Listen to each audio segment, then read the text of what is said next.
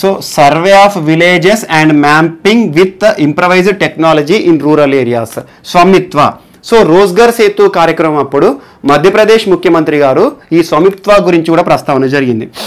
ఏంటంటే ప్రధానమంత్రి ఆధ్వర్యంలో కేంద్ర ప్రభుత్వం ప్రారంభించింది. Survey of villages and mapping అనేది.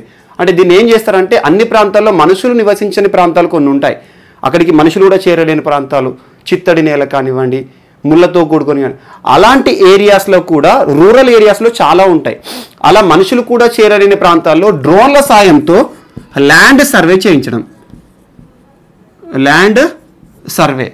సో ఇలా ల్యాండ్ సర్వే చేయించడం ద్వారా ఈ స్వామిత్వ కింద భారతదేశంలో ఉన్న భూములు కానివ్వండి ఇవన్నిటి కూడా చేయడం. అలా డ్రోన్ల సాయంతో సర్వేలు కూడా వార్తలు నిలిచింది. స్వామిత్వ ప్రోగ్రామ్ని కూడా ఇటీవల ప్రస్తావించడం జరిగింది. అండ్ నెక్స్ట్ డ్రోన్లు అన్నాను. డ్రోన్లకు సంబంధించి కేంద్ర ప్రభుత్వం ఇటీవల ఒక ప్రోగ్రామ్ని ప్రారంభించింది. అదేంటంటే Garud portal. Garud portal most important. Government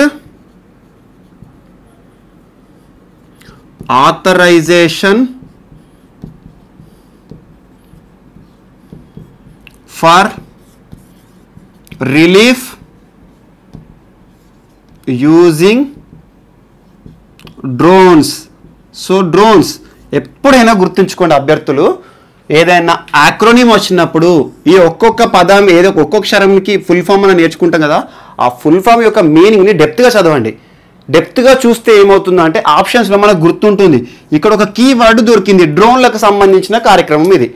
so దేనికి ఉపయోగించబడింది? దేనికోసం ఉద్దేశించబడింది అంటే ఇప్పుడు కరోనా పరిస్థితుల్లో రాష్ట్ర ప్రభుత్వాలు ఒక్కొక్క రాష్ట్ర ప్రభుత్వము శానిటైజేషన్ ప్రక్రియ చేస్తుంది. చూడండి ఒక ఏరియాను క్లీన్ చేయడం కానివ్వండి కొన్ని ప్రాంతాల్లో డ్రోన్లు రోబోలాగా పనిచేయడం కానివ్వండి పర్యవేక్షణ చేయడం కానివ్వండి అలా ఒక్కొక్క ప్రాంతంలో డ్రోన్ల యొక్క ఉపయోగం లేకపోతే లాక్డౌన్ ఉల్లంఘనలు ఎవరైనా చేశారా యువత ఎవరైనా రోడ్ల మీద తిరుగుతున్నారా అని చెప్పేసి డ్రోన్లతో పర్యవేక్షణ చేస్తున్నారు. అలా డ్రో డ్రోన్లతో చాలా యూజెస్ ఉన్నాయి. అలా రాష్ట్ర ప్రభుత్వాలు కనుక కరోనాని కట్టడి చేయాలి అనే ఉద్దేశంతో డ్రోన్లను కనుక వాడాలి అనుకుంటే ఈ డ్రోన్లు వాడాలంటే అంత సులభంగా పర్మిషన్ రాదు. సో సులభతరంగా కేంద్ర ప్రభుత్వం నుండి పర్మిషన్ ఇవ్వాలి అనే ఉద్దేశంతో ఈ పోర్టల్ని తయారు చేశారు. సో ఈ పోర్టల్ ఎవరైనా రాష్ట్రం ఎగ్జాంపుల్ తెలంగాణ కానీ ఏపీ కానీ మా రాష్ట్రంలో శానిటైజేషన్ కోసం డ్రోన్లు వాడతాము అంటారు శానిటైజేషన్ ఎట్లా చేస్తారు? కొన్ని ప్రాంతాల్లో కరోనా బారిన పడ్డ వీధులు ఉన్నాయనుకోండి రెడ్ జోన్స్ కంటైన్మెంట్ ఏరియాస్ ఏవైతే ఉంటాయో ఆ ప్రాంతాలకి పారిశుద్ధ్య కార్మికులు వెళ్ళాలంటే కూడా భయపడతారు. సో అలాంటప్పుడు ఏం చేయాలి? డ్రోన్లకే శానిటైజేషన్ బాటిల్ కట్టేసి ఆపరేట్ చేసిన అనుకో అక్కడ మొత్తం శానిటైజేషన్ చిల్లుకుంటూ పోతుంది అన్నట్టు సో అలా ఇటీవల కాలంలో ఇంకొక రాష్ట్రం మోస్ట్ ఇంపార్టెంట్ ఇక్కడనే రాయండి. మార్చి నెలలో డ్రోన్ల సాయంతో ఒక జిల్లా మొత్తం మొత్తాన్ని కూడా శానిటైజేషన్ చేసింది ఇండోర్ మధ్యప్రదేశ్లో ఉన్న ఇండోర్లో ఇండోర్ జిల్లాలో డ్రోన్ల సాయంతో శానిటైజేషన్ ప్రాసెస్ చేయబడింది. ఇక్కడ ఒక బిట్ రాసుకోండి మీరు. సో ఈ రకంగా డ్రోన్ల సాయంతో కరోనాని కట్టడి చేయాలనుకునే రాష్ట్రాలు ఆన్లైన్ పోర్టల్ ద్వారా అప్లై చేసుకుంటే సులభంగా వాళ్ళకి సరే వాడుకోండి అని చెప్పేసి ప్రభుత్వం పర్మిషన్ ఇస్తుంది కేంద్ర ప్రభుత్వం. అలా ఈ గరుడ్ పోర్టల్ ఎవరు ఏ మినిస్ట్రీ వాళ్ళు ఆధ్వర్యంలో పనిచేస్తుంది అంటే మినిస్ట్రీ ఆఫ్ సివిల్ ఏవియేషన్ మరియు director general of civil aviation వీరిద్దరు సంయుక్తంగా చేస్తున్నారు. గరుడ్ పోర్టల్. సో ఈ రకంగా గరుడ్ పోర్టల్ అనేది ఇటీవల వార్తల్లో నిలిచింది. అండ్ నెక్స్ట్ ఈరోజు ఇంకొకటి కూడా ఒక క్యాంపెయినింగ్ ఉంది. కరోనా బారిన వాస్తవం చూడండి. మార్చి నెల నుండి మొదలు పెడితే జూన్ వరకు కూడా ఈ ఆరు నెలల కరెంట్ అఫైర్స్లో సగం కరోనా అఫైర్సే ఉంటాయి. Corona affairs. అంటే కరోనా గురించే ఉంటాయి అన్నట్టు. సో అలాంటి వాటి గురించి ఖచ్చితంగా బిట్ కరోనా గురించి లేకుండా రానున్న ఎగ్జామ్ ఈవెన్ సివిల్స్లో కూడా బిట్టు మిస్ అవ్వదు. ఒకటి కాదు కనీసం నాలుగైదు బిట్లు వస్తాయి కరోనా రిలేటెడ్గా అది డ్రగ్సే కావచ్చు అది కట్టడి కట్టడికి సంబంధించి కావచ్చు. సో ఏదైనా కావచ్చు కరోనా రిలేటెడ్గా బిట్స్ అడుగుతారు వైరస్ల గురించి కానీ. అండ్ నెక్స్ట్ ఇటీవల నానా నాని దాదా దాది అభియాన్ అనే పేరుతో సురక్షిత్ నానా నాని దాదా దాది అభియాన్ పేరిట ఇటీవల నీతి ఆయోగ్ మనకు తెలుసు ప్లానింగ్ కమిషన్ ప్లేస్లో వచ్చింది కదా? నీతి ఆయోగ్ ఒక క్యాంపెయినింగ్ చేపట్టింది. క్యాంపెయినింగ్ ఎందుకు? వృద్ధుల బారిన కరోనా బారిన పడ్డ వాళ్ళు హార్డ్ ఇమ్యూనిటీ అంటే మన లోపల ఇమ్యూనిటీ శక్తి ఉంటుంది కొంతమందికి. కరోనా బారిన పడ్డ ప్రతి ఒక్కరు ఒక్కరు కూడా చనిపోడు. కొంతమంది కరోనా బారిన పడ్డా కూడా లక్షణాలు బయటికి రావు. అట్లా చాలామంది ఉన్నారు.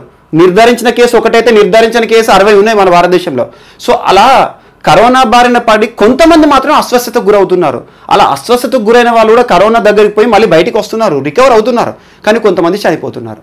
కానీ ఈ చనిపోవడం మోర్టాలిటీ రేట్ అనేది ఎక్కువగా ఏ వర్గంలో ఉంది అంటే సిక్స్టీ ఇయర్స్ పైన మరియు చిన్నపిల్లలు సెన్సిటివ్గా ఉంటారు. అప్పుడప్పుడు పెరుగుతారు. చిన్నపిల్లలు కూడా కరోనా బారిన పడద్దు. కానీ ఇక్కడ చిన్నపిల్లల్ని కన్సిడర్ చేయట్లేదు. ఎబో సిక్స్టీ ఇయర్స్ వారికి కరోనా గురించి అవగాహన కల్పించడానికి బయట తిరగద్దని కొంచెం సురక్షితంగా అమర్చుకోవాలి మాస్కులు కట్టుకోవాలి శానిటైజేషన్ చేసుకోవాలి చేతులు కడుక్కోవాలని చెప్పేసి ఉంటుంది కదా. అలా దానికోసం అని చెప్పేసి సిక్స్టీ ఇయర్స్ ఎబో వారిని నానా నాని దాదా దాది అభియాన్ అనేది నీతి ఆయోగ్ క్యాంపెయినింగ్ చేసింది. అంటే కరోనా బారిన వృద్ధులు పడకుండా ఒక అవగాహనను చేపట్టే కార్యక్రమం. సో ఇదొకటి మనకి ఇంపార్టెంట్. దీని గురించి కూడా బిట్ రావచ్చు. అండ్ నెక్స్ట్ వార్తల్లో కొన్ని తెగలు నిలుస్తూ ఉంటాయి ఇప్పుడు మే నెలలో రెండు తెగలు వార్తల్లో నిలిచినాయి. రెండు తెగలు ట్రైబ్స్ మే నెలలో. అదొకటి. కట్కారీ తెగ. కట్కారీ తెగ. రెండు తోడాలు. తోడాలు. ఈ రెండు తెగలు కూడా మే నెలలో వార్తలు నిలిచినాయి. అండ్ గుర్తుంచుకోండి తెగల గురించి క్వశ్చన్ లేకుండా క్వశ్చన్ పేపర్ ఉండదు. ట్రైబల్ కొన్ని పాయింటర్స్ ఉంటాయి ఎగ్జామ్లో. పాయింటర్స్ అంటే ఏంటంటే ఖచ్చితంగా ఆ ఏరియా నుండి బిట్స్ వస్తాయన్నట్టు నేషనల్ సెంటర్స్ కానివ్వండి కొన్ని ఇంపార్టెంట్ డేస్ కానివ్వండి తెగల గురించి కానివ్వండి వరల్డ్ హెరిటేజ్ సైట్స్ గురించి కానివ్వండి ఇలా కొన్ని బిట్స్ అడుగుతారు. ఖచ్చితంగా ఆ ఏరియా వస్తుంది. అది ఏ తెగనే సరే. సో వార్తలు నిలిచిన తెగల గురించి చూసుకోండి. భారతదేశంలో ఐదు వందల పై తెగలు ఉన్నాయి మరి. సో వార్తలు నిలిచిన తెగ గురించి గుర్తుంచుకోండి. తెగల గురించి నిర్వచనం రాజ్యాంగంలోని article three sixty six twenty ఫైవ్లో ఉంటుంది. తెగలను గుర్తించే అధికారం భారత రాష్ట్రపతికి ఉంటుంది. రాష్ట్రపతికి. సో ఒక రాష్ట్రంలో ఏది తెగ ఉంటుంది ఏది ఉండకూడదు అని చెప్పేసి రాష్ట్రపతి ఉంటారు. తెగలు గిరిజనులు గిరి ప్రాంతాలు గిరి అంటే కొండ జనులు అంటే కొండలు నివసించే వాళ్ళు తెగలు ఎస్టీలు అంట మన దగ్గర. సో ఈ కట్కారీ తెగ తోడాలు ఎందుకు వార్తలు నిలిచారంటే కట్కారీ తెగ వారు లాక్డౌన్ కాలం ఉంది మనకు. లాక్డౌన్లో ఒక్కొక్కటి ఇంట్లోకి వెళ్ళి బయటికి పోలే. ఇంట్లోకి వెళ్ళి బయటికి పోతే పోలీసులు వాళ్ళ పని వాళ్ళు చేసుకున్నారు. సో ఇంట్లో నుండి పోకుండా ఎవరు కూడా వర్క్ ఫ్రమ్ హోమ్ చేసుకున్నారు. ఎందుకంటే మనం డిజిటలైజేషన్ అయింది. డిజిటల్ ఇండియాలో భాగంగా ప్రతి ఒక్కరికి ఇంటర్నెట్ సౌకర్యం ఉంది. ప్రతి ఒక్కరు కూడా వారి యొక్క టాలెంట్తో ఇంట్లో నుండి సాఫ్ట్వేర్ ఎంప్లాయీస్ కానివ్వండి ఆన్లైన్ బోధనలు జరుగుతున్నాయి. స్కూల్ పిల్లలు కూడా ఆన్లైన్ క్లాసెస్ స్టార్ట్ అయినాయి. కానీ ఇదంతా కూడా మనమంతా కూడా నాగరికత చెందిన ప్రజలం. కానీ కట్కారీ తెగలు దాదాపు ఏప్రిల్ నెలలో ప్రారంభించారు. ఏప్రిల్ నెలలో ఈ కట్కారీ తెగలు ఉత్పత్తి చేసే కొన్ని ఆయుర్వేదిక్ మూలికలు ఉంటాయి. ఆయుర్వేదిక్ అంటే మెడిసిన్స్ ఆయుర్వేదిక్ మెడిసిన్ సో ఆ ఆయుర్వేదిక్ మెడిసిన్స్ని వీళ్ళు ఆన్లైన్ ద్వారా అమ్మడం జరిగింది. ఆన్లైన్ ద్వారా. అందులో ముఖ్యంగా కట్కారి తెగలు చేసేవి ఏంటంటే గిలాయ్ మరియు కటేచు గిలాయ్ మరియు కటేచు గిలాయ్. గిలాయ్ మరియు కటేచు అనే ఉత్పత్తులని కట్కారి తీగలు తెగలు రూపొందిస్తారు. వారి అడవిలో దొరికే వనమూలికలు కానివ్వండి చెట్ల నుండి కానివ్వండి కొన్ని రూట్స్లో నుండి కూడా ఆయుర్వేదిక్ మెడిసిన్ తయారు చేస్తారు వేర్ల నుండి. అలా గిలాయ్ మరియు కటేచు అనేది వారి యొక్క ఉత్పత్తులు. సో వీరి ఉత్పత్తులు సర్వసాధారణంగా అయితే ఏంటంటే ఆఫ్లైన్ తీసుకొచ్చేసేసి ఫార్మా కంపెనీస్ కానివ్వండి బయట జనాలకు కానీ అమ్ముతారు. కానీ ఆన్లైన్ కాలంలో కూడా వ్యాపారాన్ని అద్భుతంగా చేశారు. ఎలా అంటే ఆన్లైన్ విక్రయం ద్వారా చేశారు లాక్డౌన్లో ఆన్లైన్ విక్రయాలు. ముఖ్యంగా కట్కారీ తెగలు ఎక్కడ ఎక్కడ ఉంటారంటే రత్నగిరి ఫాల్గర్ మరియు తానే మహారాష్ట్ర ప్రాంతాలు మరియు గుజరాత్లోని కొన్ని ప్రాంతాలు. అంటే మహారాష్ట్ర గుజరాత్ బెల్ట్లో ఈ కత్కారీ తెగలు ఉంటాయి. సో కత్కారీ తెగలు వార్తలు నిలిచింది కదా ఖచ్చితంగా బిట్ రావచ్చు ఈసారి. ఓకే? నెక్స్ట్ ఇంకొక తెగ ఈరోజు మనకు వార్తలు నిలిచింది. అదేంటంటే తోడాలు. తోడాలు ఎందుకు నిలిచారంటే తోడా ఎంబ్రాయిడరీ. ఎంబ్రాయిడరీ. ఎంబ్రాయిడరీ అంటే క్లాత్. తోడాలు ఇటీవల వార్తలు నిలవడానికి కారణం వాస్తవం తోడాలు ఎక్కడ ఉంటారో చెప్తా. తమిళనాడు ప్రాంతంలో ఉంటారు. తమిళనాడులో ఉంటారు ఎక్కువగా కానీ ముఖ్యంగా పశ్చిమ కనుమలు వెస్టర్న్ ఘాట్స్లో ఉంటారు తోడాలు. వెస్టర్న్ ఘాట్స్ నీలగిరి పర్వతాల్లో ఉంటారు. నీలగిరి నీలగిరి హిల్స్లో ఉంటారు. సో ఈ తోడాలు వార్తలు ఎందుకు నిలిచారంటే కరోనా కాలంలో ప్రతి ఒక్కరు కూడా చూడండి మాస్కులు హ్యాండ్ ఖర్చు హ్యాండ్స్ కానివ్వండి గ్లౌజెస్ కానివ్వండి పీపీఈ కోడ్స్ అని చెప్పేసి శానిటైజర్లు అన్ని వార్తలు నిలుస్తున్నాయి. అన్ని రంగాలు కూడా ఈ వీటి తయారు చేయడంలోనే నిమగ్నమైనాయి. మరి తోడాలు ఈరోజు వార్తల్లో ఎందుకు నిలిచారు అంటే ఈ తోడాలు కూడా కరోనాని దృష్టిలో ఉంచుకొని మాస్కులను తయారు చేస్తారు మాస్కులు. సో తోడాలు కూడా మాస్కులు అంటే అర్థం చేసుకోండి వీరి యొక్క అవేర్నెస్ వీరి యొక్క మెరు మెరుగుదల లేకపోతే వీరి అభివృద్ధి వీరి యొక్క నాలెడ్జ్ అనేది ఎంత పెరుగుతుందో చూడండి. తోడాలు కూడా వారి సంస్కృతి ఆధారంగా మాస్కులను తయారు చేస్తారు తోడాలు సర్వసాధారణంగా ఏం చేస్తారంటే రెడ్ అండ్ వైట్ కలర్స్ మాత్రమే ఎక్కువ వాడతారు. కొన్ని సందర్భాల్లో బ్లూ వాడతారు. సో రెడ్ వైట్ వారి ఉత్పత్తులు వారి ప్రాంతంలో ఉండే దొరికే దారంతో మాస్కులు తయారు చేస్తారు ఉన్నిలాగా ఉంటుంది. సో వాటిని ఏమంటారు అంటే తోడాల ఎంబ్రాయిడరీని పోహోర్ అంటారు పోహోర్. సో వీరు కూడా వార్తలు ఇచ్చారు ఈ తోడాల గురించి కూడా బిట్ అనేది ఈసారి ఖచ్చితంగా ఎగ్జామ్లో రావచ్చు. సో ఇదొకటి. అండ్ నెక్స్ట్ ఇటీవల ఒక రాష్ట్రం వార్తలు నిలిచింది మిజోరాం. మిజోరాం.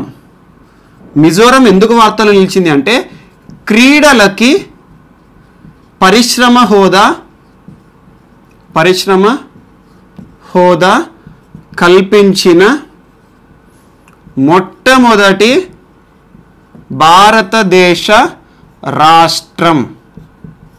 ఏంటిది? మిజోరాం. క్రీడలకి పరిశ్రమ హోదా అంటే ఏందో అర్థమవుతుంది కదా. సో కామన్గా పరిశ్రమలు ఉంటాయి. పరిశ్రమలో పెట్టుబడులు వస్తాయి. చూడండి. పెట్టుబడులు ఒక పరిశ్రమ వాళ్ళు ఇంకో పరిశ్రమ పెట్టుబడులు. సో ఇప్పటివరకు మిజోరాంలో క్రీడా శాఖ అంత పెద్దగా అభివృద్ధి చెందలే క్రీడారంగం.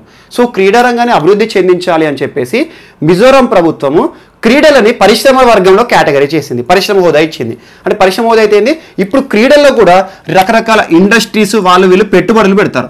సో పెట్టుబడులు పెడితే క్రీడలకు ఏమొస్తుంది? క్రీడారంగానికి ఆదాయం వస్తుంది. ఆర్థికంగా అభివృద్ధి చెందుతుంది. ఆర్థికంగా అభివృద్ధి చెందినప్పుడు ఏమవుతుంది స్పోర్ట్స్ పర్సన్స్ అందరికి కూడా స్పాన్సర్స్ పెరుగుతారు. ఆటోమేటిక్గా క్రీడల నుండి కూడా రాష్ట్రానికి ఆదాయం వస్తుంది.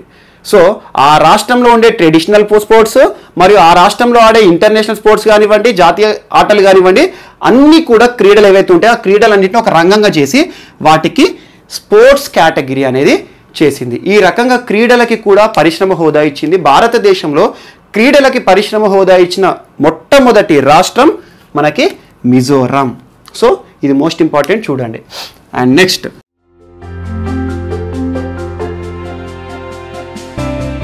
విద్యార్థులు అన్ని రకాల అద్భుతమైన సమాచారాన్ని సబ్జెక్టు వీడియోలను విశ్లేషణలను జాబ్ నోటిఫికేషన్స్ మోటివేషనల్ వీడియోస్ను పొందడానికి వెంటనే వ్యోమ అకాడమీ ఛానల్ను సబ్స్క్రైబ్ చేసుకోండి.